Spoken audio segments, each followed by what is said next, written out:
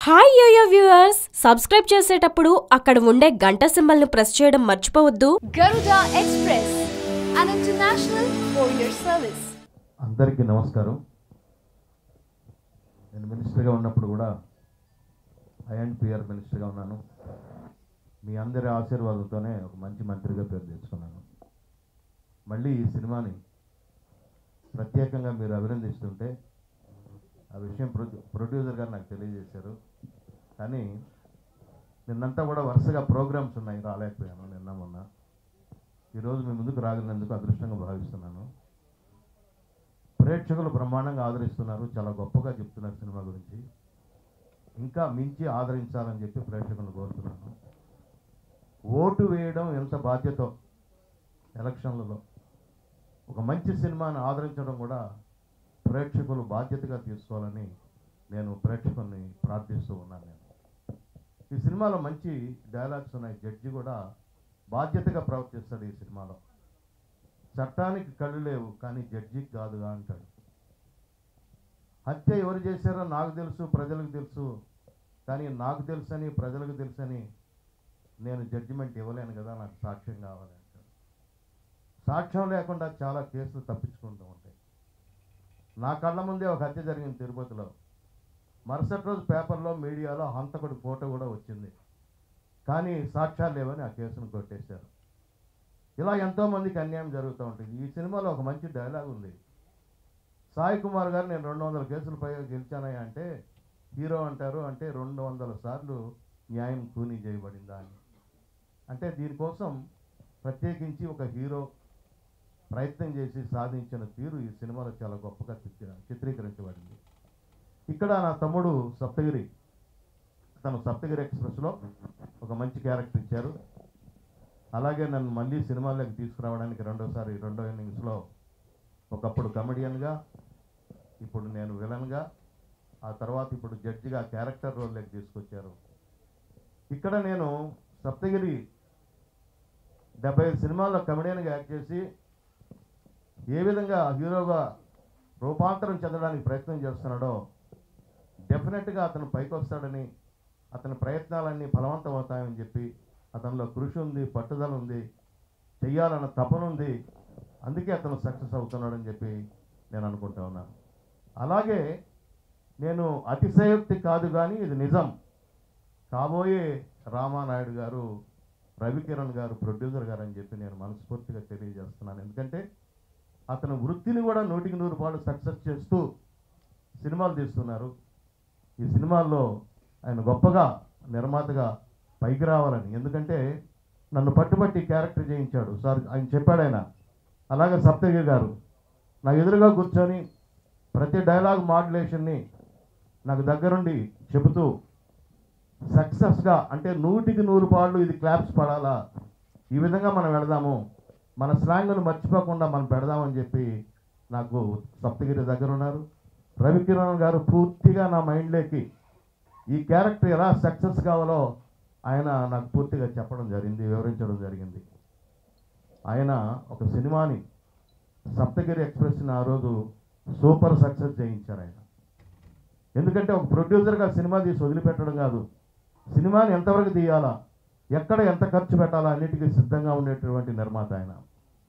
అలాంటి డాక్టర్ని నిర్మాతగా మీరందరూ ఆశీర్వదించాలని ఆయన చేసే ప్రతి ప్రయత్నాన్ని మీరు ఆదరించాలని నేను కోరుకుంటా ఉన్నాను. ఎందుకంటే ఒక మంచి నిర్మాతను మనం మిస్ అవుతాం లేకపోతే. సినిమాలో ఎవరెవరో వస్తున్నారు కమర్షియల్గా సినిమాలు చేసి వెళ్ళిపోతున్నారు. ఎందుకు సక్సెస్ అవుతుందో ఎందుకు సక్సెస్ కాదో తెలియని పరిస్థితుల్లో ఉంటుంది. ప్రొడ్యూసరు ఎక్కడ చేయాలనో అవి చేయకుండా తప్పించుకొని పారిపోయే పరిస్థితులు ఉన్నాయి. అలా కాకుండా సినిమాను నిలబెట్టే ప్రయత్నం కూడా అద్భుతంగా చేసేటువంటి గొప్ప నిర్మాతగా అతను మారుతాడని అతన్ని ఆశీర్వదించాలని ఈ సినిమాని ప్రేక్షకులు గొప్పగా ముందుకు తీసుకురావాలని. అలాగే ఒక్క మాట మంచి క్యారెక్టర్స్ ఇస్తే నా రాజకీయ రంగంలో ఉండేటటువంటి నా ఇబ్బందుల్ని పక్కకు పెట్టి వాటన్నిటిని మేనేజ్ చేసుకుంటూ పర్ఫార్మెన్స్ వాల్యూ ఉండే క్యారెక్టర్స్ ఇస్తే నేను నిర్మాతలకి అందుబాటులో ఉండేటట్టుగా వాళ్ళని ఏ విధంగా ఇబ్బంది పెట్టకుండా మంచి ఆర్టిస్ట్గా నేను వాళ్ళతో ఉంటానని నాకు కావాల్సింది ఫస్ట్ ప్రిఫరెన్స్ పర్ఫార్మెన్స్ ఉండే క్యారెక్టర్స్. కాబట్టి నిర్మాతలు అర్థం చేసుకుని మంచి క్యారెక్టర్ ఇస్తే తప్పకుండా చేస్తాను. అలాగే మరొకసారి సక్సెస్ స్టోరీకి మన వాళ్ళు ముందుకు వస్తున్నారు. దాన్ని జయప్రదం చేయాలని ఈ సినిమాని గొప్ప సినిమానిగా ఒక గొప్ప సినిమా నిర్మించబడినప్పుడు దాన్ని అందరూ నిలబెట్టుకోవాలని చెప్పి కోరుకుంటూ ఏవిఎం స్టూడియోలో ఒక సాంగ్ సీక్వెన్స్లో ఉన్నాను నేను. అన్నగారు వచ్చేసారు. హే ఆపు దీన్ని. నువ్వు రా నాతో కూడా సార్ ఏం సార్ సాంగ్ సార్? ఇది అయిపోవాలి కదన్నా అన్నాను నేను. లేదు లేదు నువ్వు రా ఇక్కడ రా అన్నాను. ఏమంటే నన్ను లాక్కొని వెళ్ళి పక్క పక్క స్టూడియోకి తీసుకెళ్ళారు. అక్కడ బొబ్బిలి బ్రహ్మను షూటింగ్ జరుగుతుంది. ఒక క్యారెక్టర్ ఉంది. ఆ క్యారెక్టర్ ఒక డిఫరెంట్ స్లాంగ్ ఇంకా అన్నగారు రీడింగ్ ఇస్తే ఎలా ఉంటుందో అందరికీ తెలుసు కదా. ఆ రీడింగ్ ఇచ్చి మన డైరెక్టర్ రాఘవేంద్రరావు గారిని మెప్పించేశాడు ఆయన. ఈ లోపల ఎవరో ఒకరిద్దరిని తీసుకెళ్ళి ఆ క్యారెక్టర్లు పెట్టారు ఆ స్లాంగ్ రావటం లేదు. అన్న చెప్తే పడ పగలబడి నవ్వుతున్నారు అక్కడ ఆ క్యారెక్టర్ అతను ఎవరో చేయటం లేదు. ఈయన ఏం చేశారంటే నన్ను తీసుకెళ్ళి చూపిస్తే రాఘవేంద్రరావు గారు ఒప్పుకుంటారో లేదో అని చెప్పి నేరుగా తీసుకెళ్ళి నాకు కాస్ట్యూమ్ గెటప్ అంతా ఏం చేసి నేరుగా డైలాగ్ చెప్పేసి అప్పుడు తీసుకెళ్ళారు ఇంకా అక్కడ డైలాగ్ అన్న చెప్పడం నేను చెప్పడం అన్న చెప్పడం నేను చెప్పడం. అదిరిపోయి ఒక సీన్ ఉండే ఆ క్యారెక్టర్ని సినిమా అంతా పెట్టేశారు రాఘవేంద్రరావు ఏదో పట్టణం వెళ్తున్నాం కదా రవి బుడ్డో అత్ర బుడ్డో తీసుకొద్దామని అది అసలు ఎంత గొప్పదంటే అన్నగారు. ఇంకా అన్నగారి చమత్కారం మీ అందరికీ బాగా తెలుసు.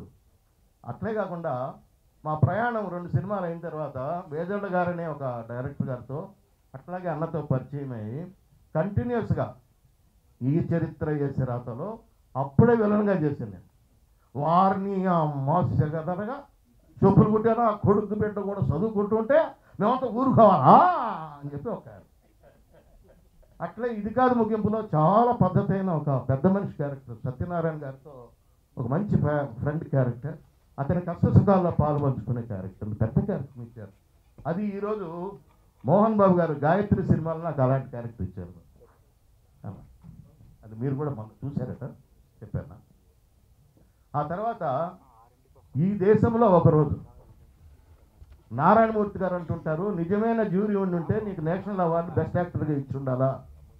ఒక దొంగ దొంగ పోలీస్ అండి. మా ఇద్దరి మధ్య మన వీరభద్రరావు గారు శుద్ధి వీరభద్రరావు గారు నేను చేసాం ఆయన పోలీసు నేను దొంగ అనమాట అలా నారాయణమూర్తి గారు ఇప్పుడు కూడా అంటూ ఉంటారు నన్ను.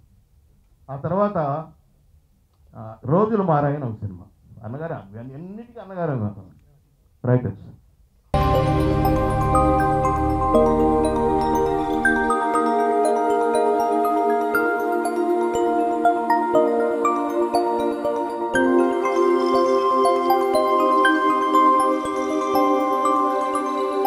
వీడియో గనుక మీకు నచ్చినట్లయితే లైక్ చేయండి. షేర్ చేయండి. అండ్ సబ్స్క్రైబ్ చేయండి.